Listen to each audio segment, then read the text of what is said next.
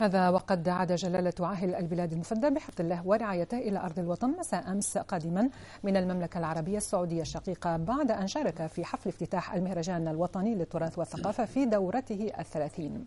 وكان في مقدمة مستقبل جلالته صاحب السمو الملكي الأمير سلمان بن حمد الخليفة ولي العهد نائب القائد الأعلى النائب الأول لرئيس مجلس الوزراء.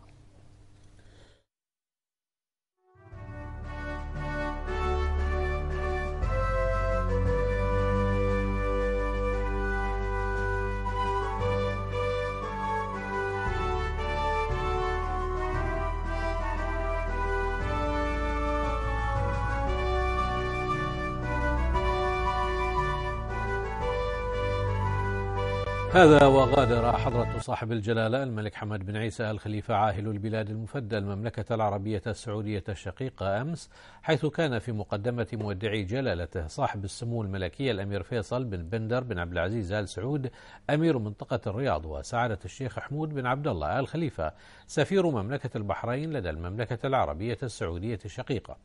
وقد بعث حضرة صاحب الجلالة الملك حمد بن عيسى الخليفة عاهل البلاد المفدى حفظه الله ورعاه برقية شكر إلى أخيه خادم الحرمين الشريفين الملك سلمان بن عبد العزيز آل سعود عاهل المملكة العربية السعودية هذا نصها.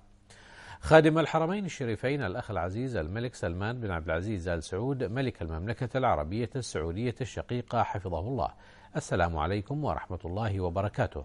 يطيب لنا ونحن نغادر المملكة العربية السعودية الشقيقة بعد مشاركتنا في المهرجان الوطني للتراث والثقافة بالجنادرية. أن نعرب عن شكرنا العميق وتقديرنا البالغ لكم حفظكم الله ولحكومتكم والشعب السعودي الشقيق على ما قوبلنا به والوفد المرافق من حفاوة بالغة وحسن استقبال وكرم ضيافة. عكست عمق ومتانة العلاقات المتميزة التي تربط بين بلدينا وشعبين الشقيقين التي أرسى دعائمها الأجداد ورعاها الأبناء والأحفاد على مدى الأيام ومر العصور.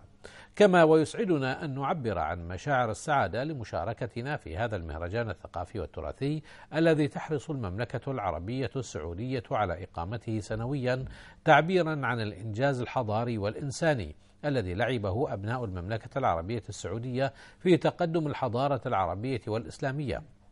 إن ما لمسناه وشاهدناه من مظاهر النهضة المباركة والتقدم الذي حققته المملكة العربية السعودية الشقيقة في مختلف المجالات والميادين في عهدكم الميمون هو مبعث فخرنا واعتزازنا.